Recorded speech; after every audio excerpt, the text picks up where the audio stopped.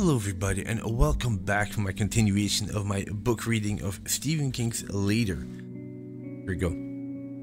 My mother spent four hours writing The Secrets of Roanoke with her trusty tape recorder always by her side.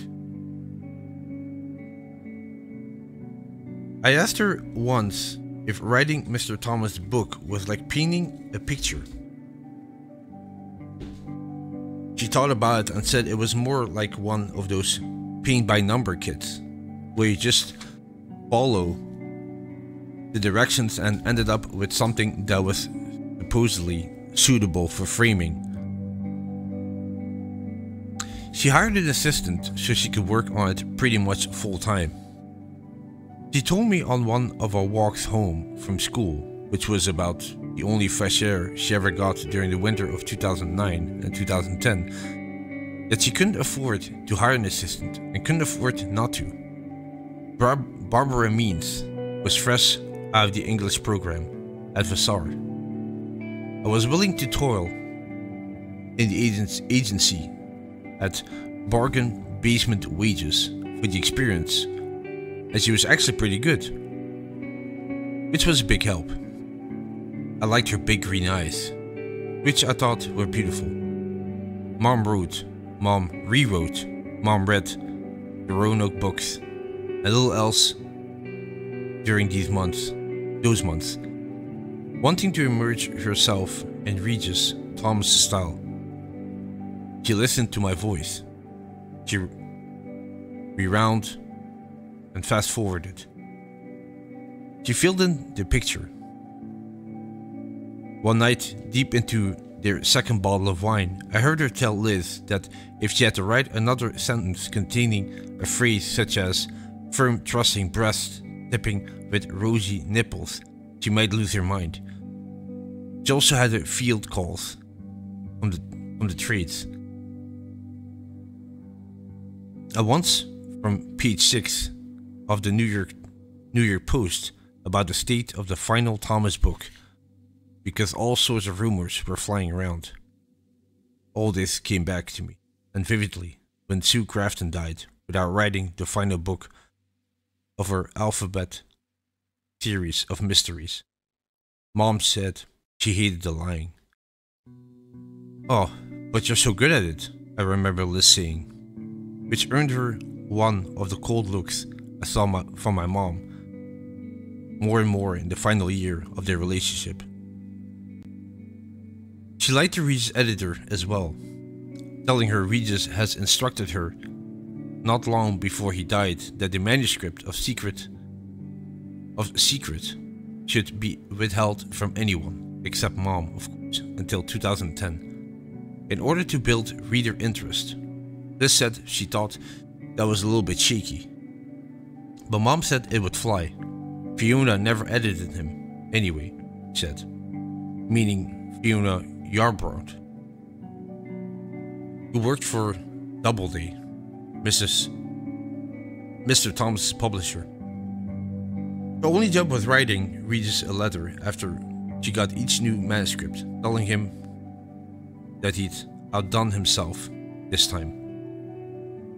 Once the book was finally turned in, Mom spent a week pacing and snapping at everyone. I was not included from said snappery waiting for Fiona to call and say Regis didn't write this book. It doesn't sound a bit like him. I think you wrote it. Yeah. But in the end, it was fine. Either Fiona never guessed or didn't care. Certainly the reviewers never guessed when the book was crashed into production and appeared in the fall of 2010. Publishers Weekly Thomas saved the best for last. Kirkus Reviews. Fans of sweet savage historical fiction will once more be in a bodice ripping clover. Dwight Garner the New York Times. Trudging, flowerless, flavorless prose is typical Thomas. The rough equivalent, equivalent of a heaping plate of food from all you can eat buffet in the dubious Roadhouse restaurant. Mom didn't care about the reviews. She cared about the huge event advance and the refreshed royalties from the previous, previous Roanoke volumes. She bitched mightily about only getting 15% when she had written the whole thing, but got a small measure of revenge by dedicating it to herself. Because I deserved it, she said. I'm not sure, Liz said. When you think about it, T, you were just the secretary. Maybe you should have dedicated to Jamie. This earned Liz another of my mom's cold looks. But I thought Liz had something there. Although, when you really thought about it, I was also just the secretary. It was still Mr. Thomas's book, Dead or Not.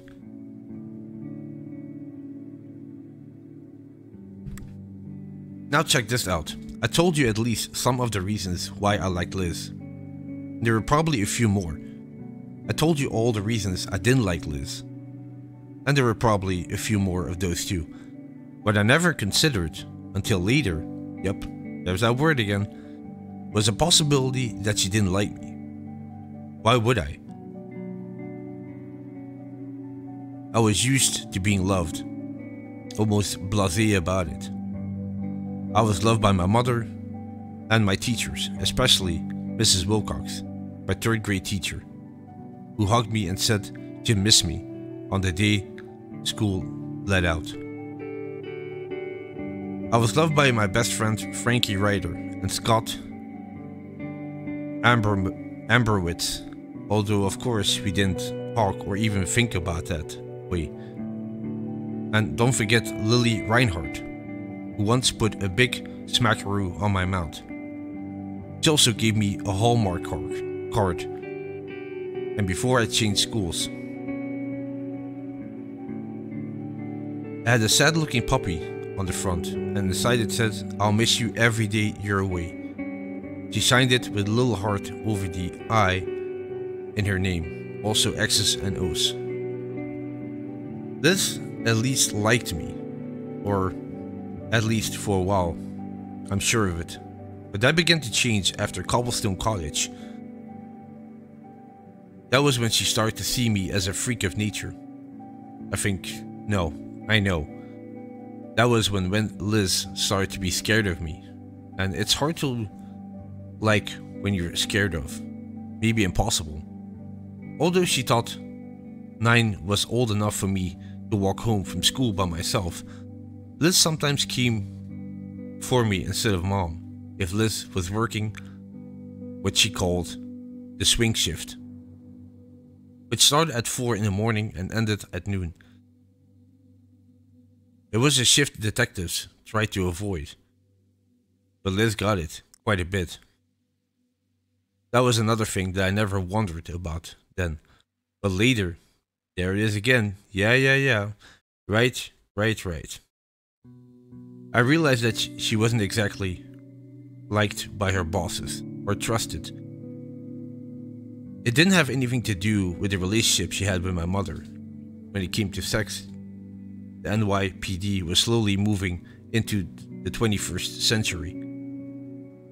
It wasn't the drinking either because he wasn't the only cop who liked to put it away. But certain people who she worked with had begun to suspect that Liz was a dirty cop, and spoiler alert, they were right.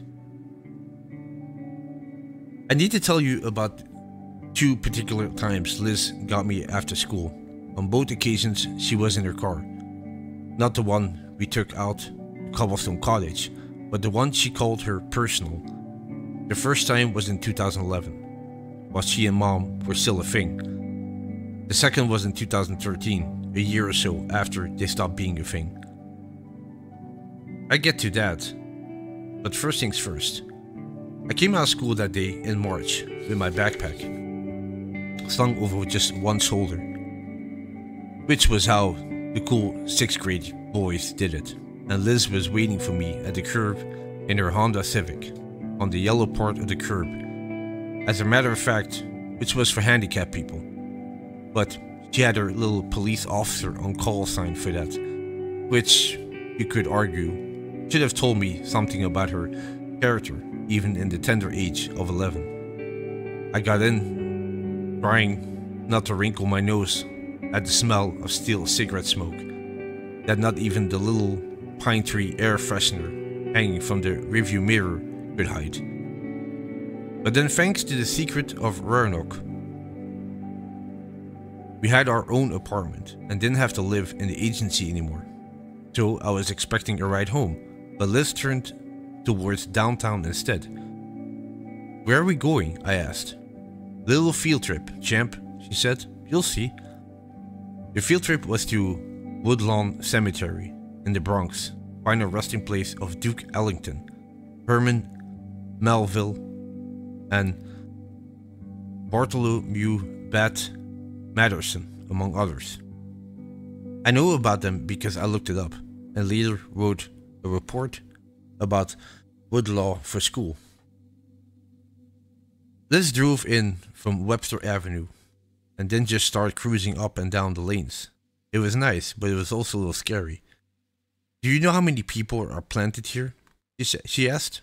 When I shook my head, 300,000. Less than the population of Tampa, but not by much. I checked it out on Wikipedia. Why are we here? Because it's interesting. But I've got homework. This wasn't a lie, but I only had like a half an hour worth. It was a bright, sunny, sunshiny day, and she seemed normal enough. Just Liz, my mom's friend, but still, this was sort of a freaky field trip. She totally ignored the homework, Gambit. People are being buried here all the time. Look to your left. She pointed and slowed from 25 or so to a Bear creep. Where she was pointing, people were standing around the coffin placed over an open grave. Some kind of minister was standing at the head of the grave with an open book in his hand. I knew he wasn't a rabbi because he wasn't wearing a beanie. Let's stop the car. Nobody at the service paid any attention. They were absorbed in whatever the minister was saying. You see dead people, she said. I accept that now. Hard not to, after what happened at Thomas' place. Do you see any here? No, I said, more uneasy than ever. Not because of Liz, but because I'd just gotten the news that we were currently surrounded by 300,000 dead bodies. Even though I knew the dead went away after a few days, a week at most, I almost expected to see them standing beside their graves and right on top of them. And maybe converging on us, like in a fucking zombie movie. Are you sure? I looked at the funeral or graveside service or whatever you call it. the minister must have started a prayer because all the mourners had bowed their heads. All except one. That was. He was just standing there and looking unconcernedly up at the sky. That guy in the blue suit, uh, blue suit, I said finally. The one not wearing a tie. He might be dead, but I can't be sure.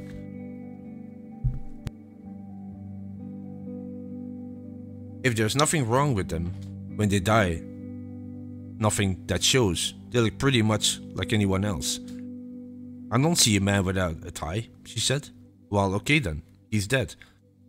Do you always come to their burials? Liz asked. How should I know? This is my first graveyard, Liz. I saw Mrs. Burkett at her funeral, but I don't know about the graveyard because me and mom didn't go to that part. We just went home.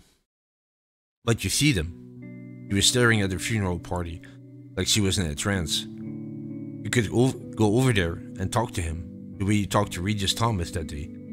I'm not going over there. I don't like to see I squeak this. Walk this, yeah. But I pretty much did. In front of all his friends. In front of his wife and kids. You can't meet me. Mellow out, champ, she said. I ruffled my hair. I ruffled my hair. I'm just trying to get it straight in my mind. How did he get here, do you think? Because he sure didn't take an Uber. I don't know. I want to go home. Pretty soon, she said, and we continued our cruise of the cemetery, passing tombs, and monuments, and about a billion regular gravestones. We passed three more gravesites, cemeteries, ceremonies in progress. Two small like the first one, but the star of the show was attending sight unseen, and one humongous one, where about 200 people were gathering on a hillside, and the guy in charge, beanie, check, plus a cool looking shawl, was using a microphone. Each time Liz asked me if I could see the dead person, and each time I told her I didn't have a clue. You probably wouldn't tell me if you did, she said. I can tell you're in a pissy mood. I'm not in a pissy mood. You are, though. And if you tell T I brought you out here, we'll probably have a fight. I don't suppose you could tell her we went for ice cream, could you? We were almost back to Webster Avenue by then, and I was feeling a little better, telling myself Liz had a right to be curious than anyone would be. Maybe if you if you actually bought me one. Bribery. That's a class B felony. She left, gave me hair, gave my hair a, a ruffle, and we're pretty much alright again. We left the cemetery and I saw a young woman in a black dress sitting on a bench waiting for her bus. A little girl in a white dress and shiny black shoes was sitting beside her. The girl had golden hair and rosy cheeks and a hole in her throat. I waved at her. Liz didn't see me do it. She was waiting for a break in traffic so she can make her turn. I didn't tell her what I saw. That night, Liz left after dinner to either go to work or go back to her own place. And I almost told my mother. In the end, I didn't.